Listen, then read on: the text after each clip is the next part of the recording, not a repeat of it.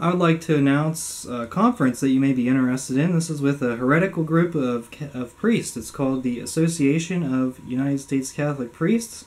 They support ordination of women to the diaconate. And their conference is called Where Do We Go From Here? It is June 21st, 24th uh, in Minneapolis, St. Paul.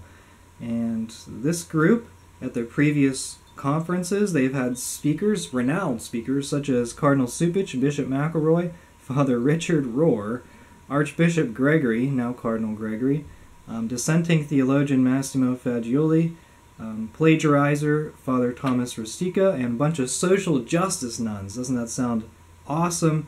Uh, where do we go from here? Um, these heretical people that I'm going to mention, their names, uh, they're going to talk about that. And before I mention their names, I want to say that registration is required, and there was an early bird special. We missed out on saving $20. The cost is $500, so I apologize for not releasing this information sooner.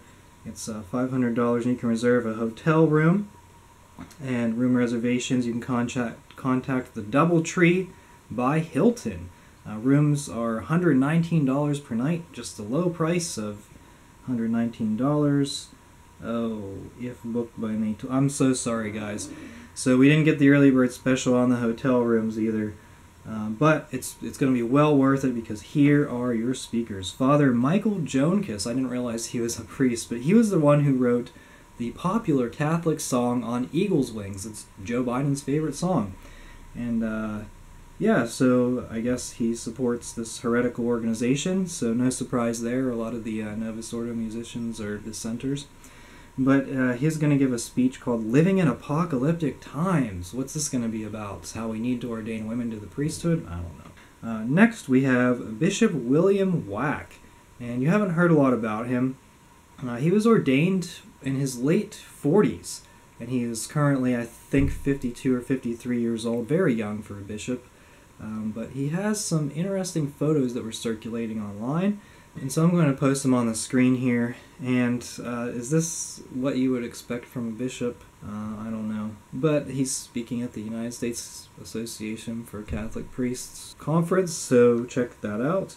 Uh, also, Archvirus Bishop John Wester. I've talked a lot about him on the show. He'll be uh, he'll be the Assembly Mass presider.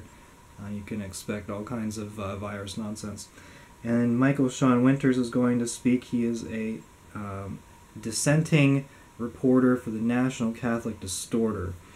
And so no, uh, no Catholic ideas there. Retired Bishop Richard Pates uh, will be there as well. He's retired Bishop of Des Moines, Iowa. And there's also going to be a speaker talk about uh, racism and all that stuff. So this sounds like a, an amazing conference.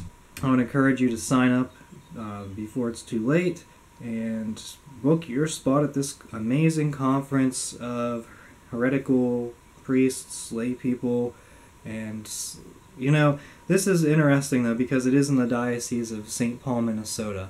And so, what I'm going to say is that Archbishop Hebda could shut this down at any time.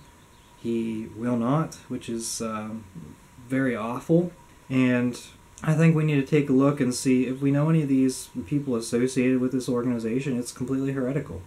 You know, they support women deacons, and that's all we need to know about that. Of course, they support the eco theology nonsense and all this uh, social justice nonsense too. But I think that uh, with this organization, we need to speak out against them. Why are bishops not condemning these people? It's because they're fellow bishops. They're not going to condemn them. And Bishop William Wack, he's an up and comer in the Francis Church. It appears to be the case. We can tell exactly where these bishops stand, but uh, the sides are lining up. We can tell who is against us, and a lot of these bishops are going to be against us. We need to speak out against them, and uh, we have a voice. we've got to use it. Speak out against heresy. We are the laity, and we will not be silent.